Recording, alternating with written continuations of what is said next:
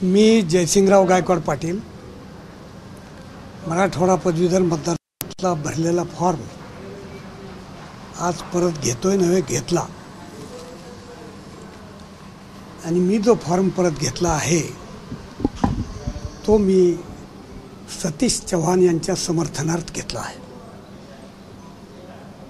शहात्तरच्या शहात्तर मराठवाड्याच्या तालुक्यात सर्व धर्मपंथ आणि अठरा पगड जाती जमातीतील कार्यकर्त्यांची सर्वपक्षीय टीम माझ्याकडे आहे. मी मराठवाड्याचा संपूर्ण दौरा करणार आणि विनंती करणार सर्वांना की आपण सतीश भाऊला साथ द्या. पण भाजपच्या उमेदवाराला का पाडायचं तुम्हाला? तुम्ही तर भाजप आता मी भाजपमध्ये नाही ना. नाराजी नक्की काय? काहीच नाराजी काहीच नाही. गेली दहा वर्ष झालं मी त्यांना काम मागतोय. आमदारकी खासदारकी नव्हे मी ती उपभोगली. आपल्याला कल्पना मी दोनदा आमदार तीनदा खासदार केंद्रात मंत्री इथं मंत्री हे इमटेरियल गोष्ट आहे. ऐका. हो हो बोला बोला. बोला खरं बोलतो तो मुद्दा नाहीये. मला काम लागतं. मी काम गे दहा बारा वर्ष झालं मी पार्टीकडे काम मागतो की मला काम द्या. मी तुमची पार्टी बांधून देतो. मला बाकी काही नको आहे ऐका. ऐका. कुठल्याही गोष्टीला काळ आणि वेळ यायला लागते. ती काळ आणि वेळ आज आलेली आहे. त्यात या- या पदवीधराचा फार राजीनाम्याशी फार संबंध नाही आहे परंतु वेळ आहे.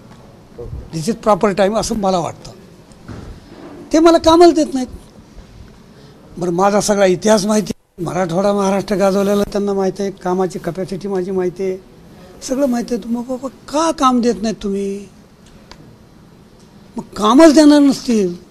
दहा दहा वर्ष जर आपल्याला कोणी हुंगणारच नसेल तिथं राहण्याचा मूर्खपणा कसं करावा? राष्ट्रवादीमध्ये प्रवेश करणार आता? आत्ता तर काही नाही. परंतु आत्ता मी सतीश चव्हाणला पाठिंबा देणार. हो नाही काय आपण भेटू की पुन्हा परत. बरं तुमची पक्षामध्ये ही उपेक्षा का झाली असावी? तुम्हाला काय वाटतं? नाही आता पक्ष हा धनदांडक्याचा पक्ष झालेला आहे.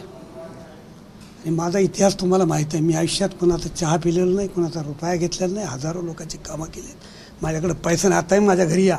एवढे आलात तर बसायला जागा नाही. हे मी कुणासाठी केलं?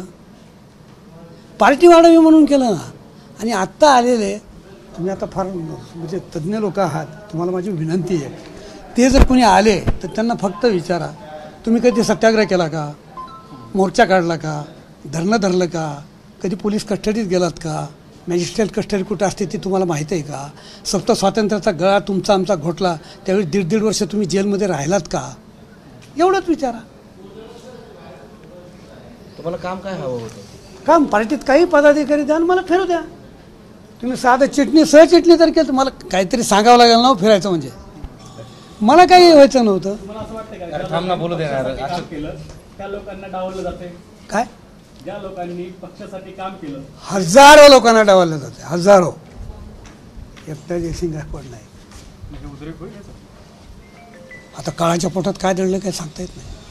तुमच्यापासून सुरुवात झाली. नाही मी तर मी तर मी काय वाट पाहत नसतो मी कोणाची. नातावांच्या माध्यमातून सुरुवात झाली गेला नाही नाही नाता भाऊ सांग किती इथं काय संबंध आहे?